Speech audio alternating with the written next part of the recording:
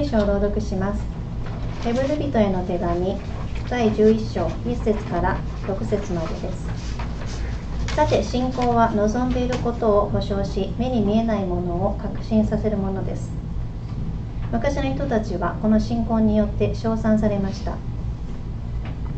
信仰によって私たちはこの世界が神の言葉で作られたことを悟りその結果見えるものが目に見えるものからできたものではないことを悟ります信仰によってアベルはカインよりも優れた生贄を神に捧げその生贄によって彼が正しい人であることが証しされました。神が彼の捧げ物を良い捧げ物だと証ししてくださったからです。彼は死にましたがその信仰によって今もなお語っています。信仰によってエノクは死を見ることがないように移されました。神が彼を移されたのでいなくなりました。彼が神に喜ばれていたことは移される前から明かしされていたのです。信仰がなければ神に喜ばれることはできません。神に近づく者は神がおられることと神がご自身を求める者には報いてくださる方であることを信じなければならないのです。今日はあ続いてヘブル人への手紙の11章に入ります。私は信じる前には信じる前に、えー、グレイスが先に信じて1年ぐらいずっと私に聖書の話とか信仰の話をしました。その時私が話したのはもう見えない神様をどうやって信じるのか。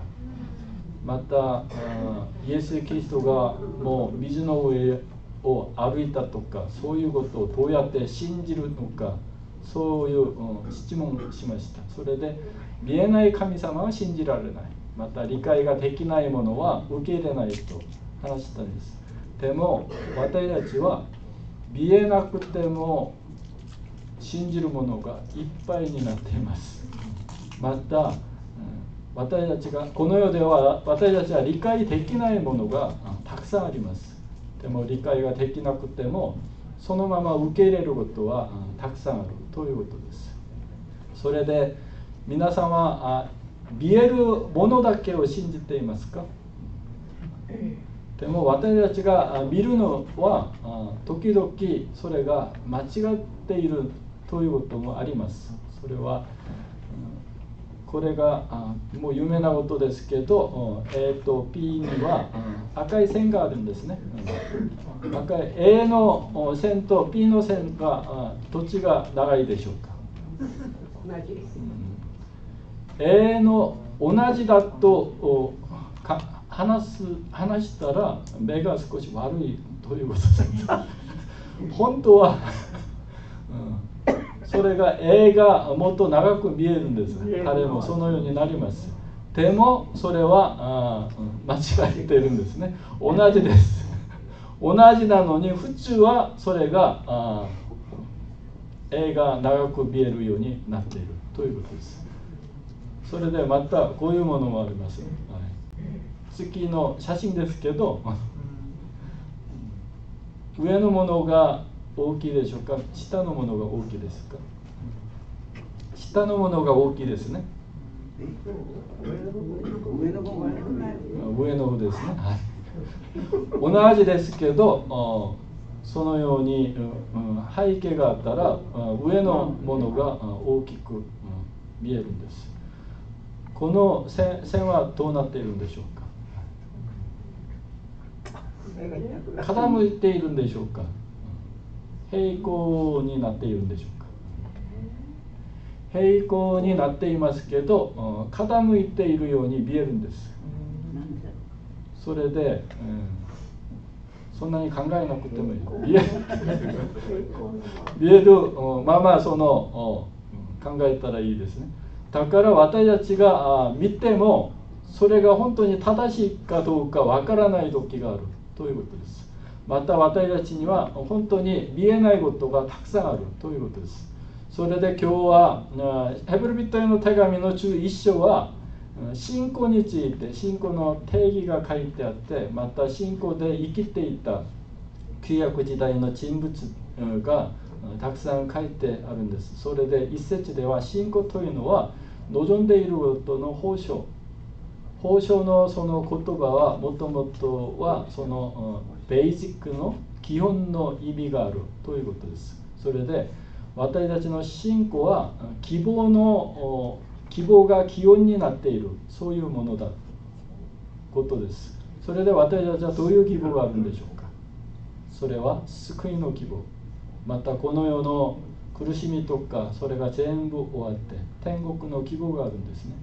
それで信仰というのは希望に基づいたもの。それは救い主イエス・キリストに基づいたものということです。今は天国は救いは完成されてなくて目に見えないんですけど目に見えないものの確信というのが信仰ということです。それで昔からその信仰を持っている人々が神様に褒められているということです。それで信仰によって私たちはこの世が神の言葉で作られたことを悟ります。それでその結果見えるもの全てが目に見えないものからできたということを悟ります。それでその信仰神様が創造主である。何もないものから全てのものを創造した方であるのを信じるのが信仰である。また信仰がなければ神様に喜ばれることはできない。だから神様に近づくものは神がおられること。神様が存在していることを信じる。また神様を求めながら救いを求め助けを求め神様と共にいるのを求める人々は必ず報いてくださることを信じることというのが信仰です。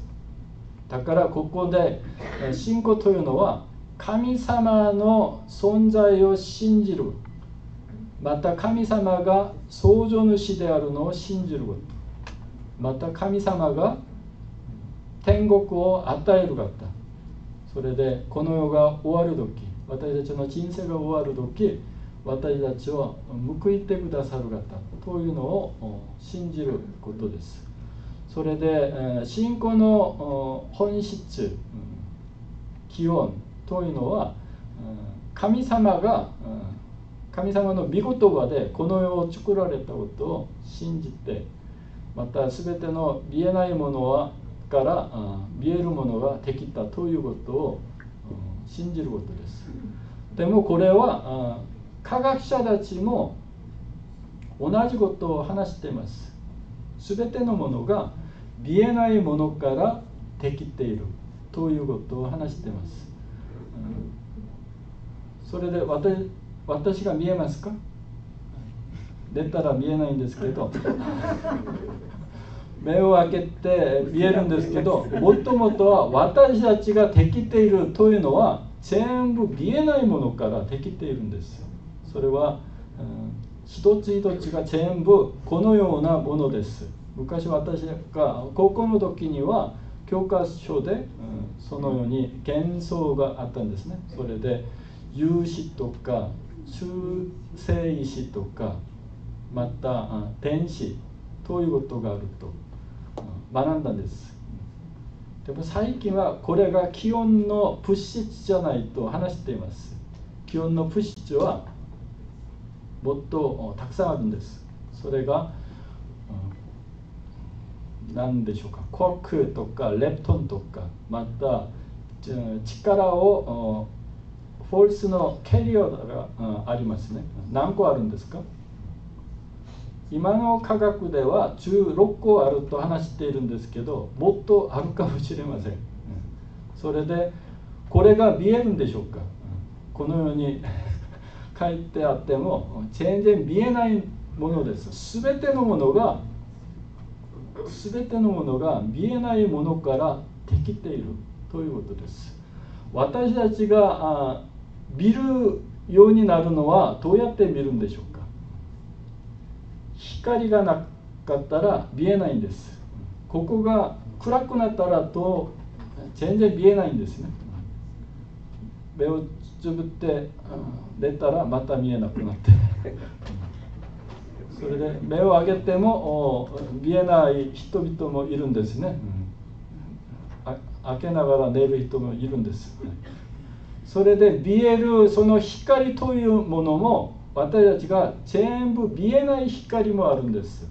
それが私たちが見る光というのはビジブルライトといってそれは、可視光線ですね、それが、色があるものですでも紫外線とか赤外線というのは全然見えないんです。X レイとか見えるんでしょうか。また電波とかもたくさんあるんですけどうん私たちには見えないんです。本当に見える見えるようになったらどうなるんでしょうか。他の人ものは全部見えなくなると思います。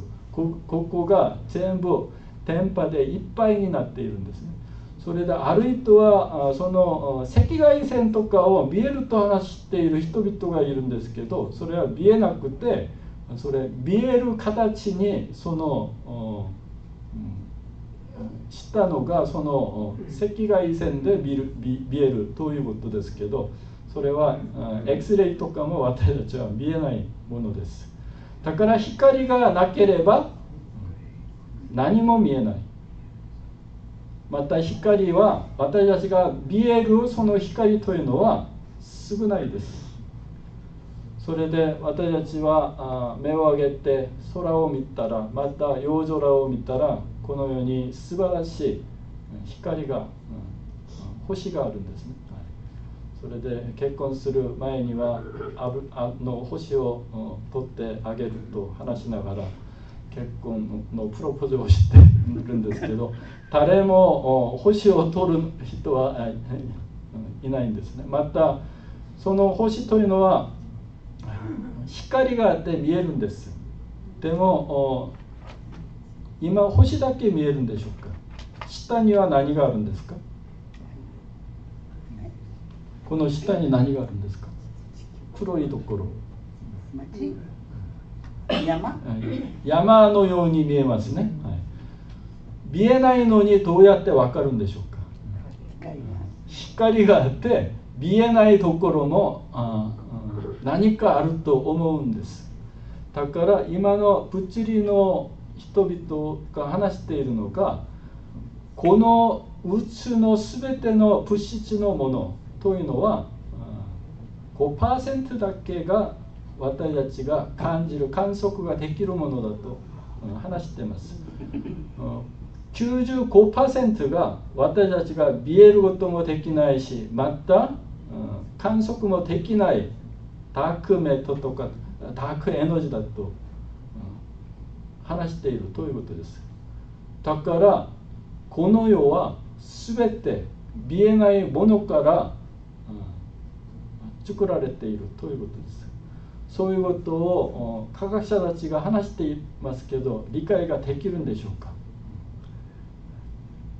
私もできないんですね、それでこういうことを話す人々の中で有名な人々がいるんですね。それがアインシュタインという人です。それはこの人が簡単な数式です。MC スケロとかそれは、うんフィールドイクエーションというそういうものですけど皆さん簡単ですね。これ。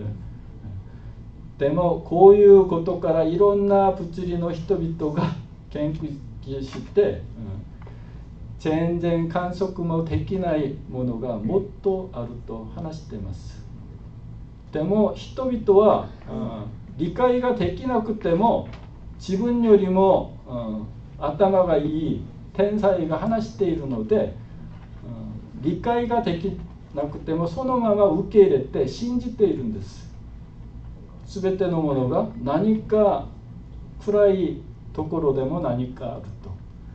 またこの世は全て見えないものからできたというのも考えているのがそのまま受けているのが私たちです。だから科学というのも理解ができなくて、うん、信じてその人たちが私よりも頭がいい人が話しているのでそのまま受け入れるというのが信仰です。それと同じように私たちは神様を全部理解できないんです。理解ができなできたらどうなるんでしょうか。神様にならなければ神様を全部理解ができないんです。アインシュタインの数式を全部理解ができたらその人は天才です。私もわからないんです。全部わからないんですけどこの人もこれは全部分かったと思うんでしょうか。あそうじゃないんです。それでこの数式がどうなるか自分もわからないと話したんです。それでこれが今変更しているということになっています。それで、うん科学者たちの話を理解できなくてもそのまま受け入れる。それは信仰が必要です。それと同じように神様も理解ができないんですからそのまま受け入れて信じるべきです。それが信仰の本質であるということです。科学者たちが話しているんですから天才が話しているんですからそのまま受け入れて信じているんですね。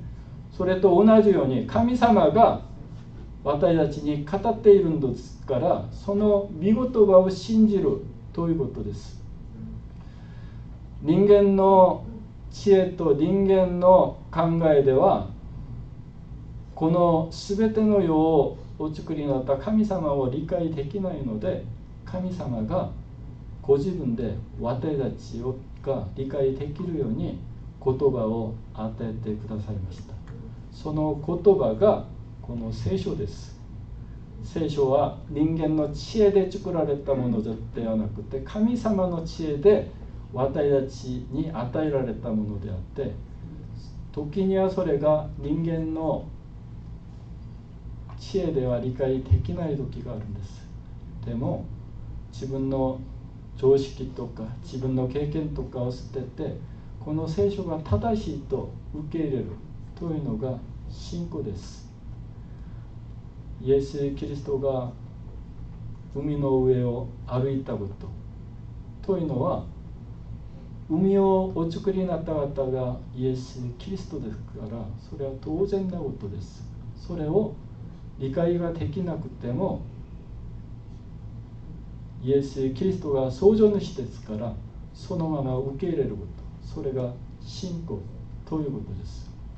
何もないものから全てをお作りになったイエス・キリストが自らブドウ酒を作るのは簡単です。だから理解ができなくてもそのまま受け入れるというのが信仰です。神様が語っているんですから。アインシュタインより知ある方が話しているんですからそのまま受け入れるのが信仰です。だから信仰によって神様を認める心を通して私たちは世界が神の言葉で作られたことを悟ることです。それで全ての結果その結果見えるものが見えない全てのものからできたことを信じることです。それで本当は見えるものはいつかなくなるんです。私見えるんですけどいつか100年後では私はなくなるんです。この世で全てのものは物質のものはなくなるんです。なくならないものは見えないもの。特に永遠のもの。永遠の命とイエス・キリストを信じる人々が永遠のものになります。この物質の世界もイエス・キリストが来られる時なくなって新しい天地が作られる新しい天国が作られるようになるんです。だからコリント人への手紙の隊員の4章の18節では私たちは見えるものにではなくて見えないものにその目をとどめます。だから永遠のことを求めるということです。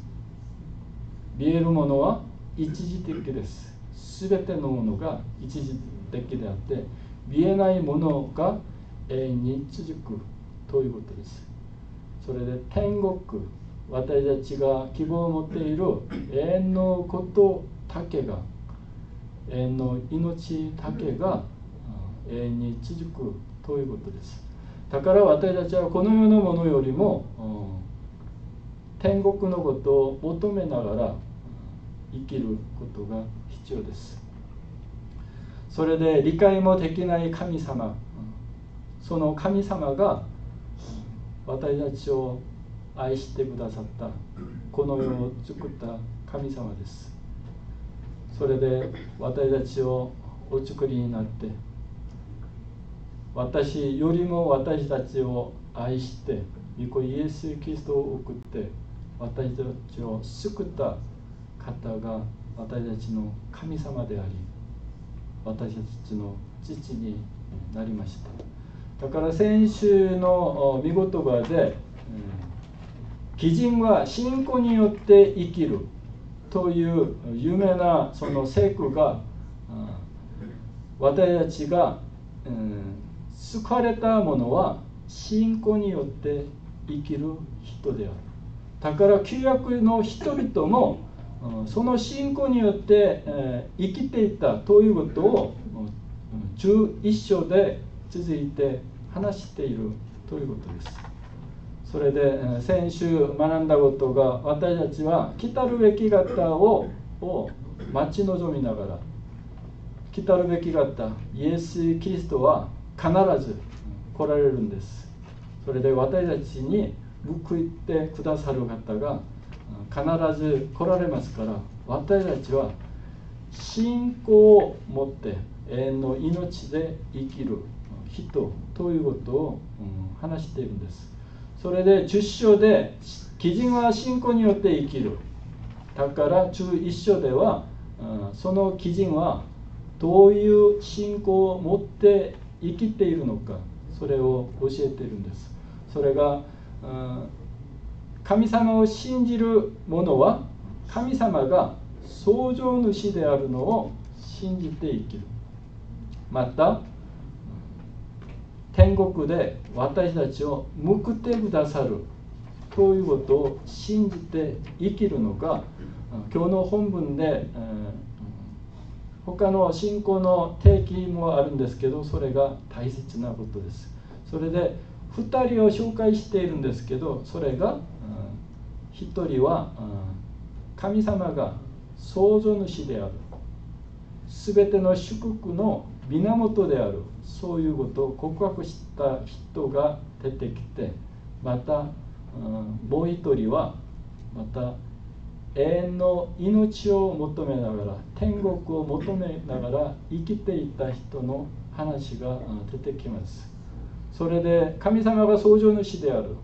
全ての祝福の源であるのを告白した人が4節に書いてあります。その人が信仰によってアベルはカインよりも優れた生贄を神様に捧げたと書いてありますそれでアベルとカインは誰でしょうか漱石で、うん、アダムとエヴァの、うん、息子2人ですねでもモーセの立法がある前から、うん、与えられる前からも神様が全てのものを与えた方であるのを信仰の告白として捧げ物を捧げることが書いてありました。その時アベルはどのように優れた生贄を信仰によって捧げるようになったんでしょうか。それが漱石に戻るべきですけど漱石ではアーベルは彼の七時の遺言の中からそれも一番良いものを自分自身で持ってきて捧げたと書いてあります。それで収穫があって収穫がある時今まで神様の祝福に感謝して捧げ物を感謝の心で捧げ物を捧げるんですけど一番良いものを捧げたと書いてあります。一番良いものというのは神様が全てのものを与えてくださった方ですから自分に持っているその祝福は全部神様からもらったものであるの。その信仰の告白です。それで立法が作られる前にもこのように自分の信仰を表現したんです。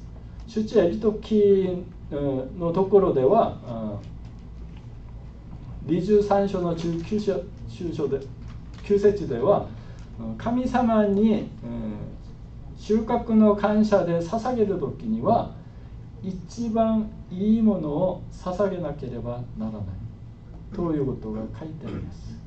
それで一番いいものを捧げることというのは神様が全ての祝福の源であるのを告白するその信仰そういうことです。皆さんは神様に何かを捧げているんでしょうか？本当に一番良いものを捧げているんでしょうか？でもどうしてカインの捧げ物は神様が受け入れなかった？というのはマラキでもそういうことが書いてありますけど人々がなんか盲目の生贄とか悪いその何か足苗とか病気のものを捧げるのが悪いと書いてあります。会員が捧げたというのは、本当に一番良いものじゃなくて、捨て捨てるべきもの本当に自分は使わないものそういうことを、うん、捧げた、うん、と思います。それであなた方は相続のところでそういうものを捧げるのかでも神様にそれを捧げたら神様がそれを受け入れるのかそういうことを話してますね。皆さん友達に、えー、リンゴを買ってあげる時、えー、どういうリンゴをあげますか、買ったんですけどこのように腐っているリンゴがあるんです。そしたらそれを捨てるべきなのにそれをあげるんでしょうか。友達にもそれを下げあげたらそれは失礼なことです。でも自分が使えない。また使って、残ったものを捧げる。ということになったら神様がそそこには目を留めることはできないんです。そういうことをカインが知ったということですね。カインはその捧げ物を神様がとどまることはできないということです。それでアベルはその信仰というのは本当に神様が自分も作って自分の命を与えてまた全ての祝福を与えたかったであるということを告白しながら一番良いものを捧げたことです。またもう一人は信仰で一番大切なのは私たちはこの世が全てだと思うように生きているんでしょうか。信じているのにそのように考える時があるんですね。でもこの世が全てじゃなくてまた来る天国が来る。ということを信じながら天国を準備するのが本当に信仰で一番大切なことです。それでそのような信仰を持っていた人がいるんですけどそれがエノクということです。エノクは死を見ることがないように移されたと書いてありますけど天国をいつも求めながら生きたその人はこの世から天国に移されたということが書いてあります。私たちも私たちの魂霊というのは救われた時その功績がこの世から天国に移されているんです。それでこの世で生きているんですけど天国を求めながら生きるのが私たちの人生になっているんです。信仰の本質というのは神様が創造主私に永遠の命を与えたかったまた私の全ての祝福は神様から来るというのを告白しながら生きることです。またこの世が全てじゃなくて天国が私のふるさと故郷であるを思いながら天国を準備しながら生きるものが本当の信仰を持っている人ということです。それでその信仰で生きた人々がいるんです。自分の人生を与えた神様を喜ばれるために生きたい人がいるんですけど皆さん神様に喜ばれる人生を過ごしているんでしょうか？信仰がなければ神に喜ばれることはできないんです。それで神様を求めながら必ず神様がこの世で神様に献身したこと感謝の心で生きた全てのこと着せしたことというのを報ってくださる方であるのを信じて生きるのが大切なことです。ジム・エリオットという選挙師は28歳の時エカドルの選挙師に行ってその準拠されるようになりました。でもその方が話したことが有名なことがあります。失わ失わないことのために持ち事ができないものを捨てるのは、愚かではない。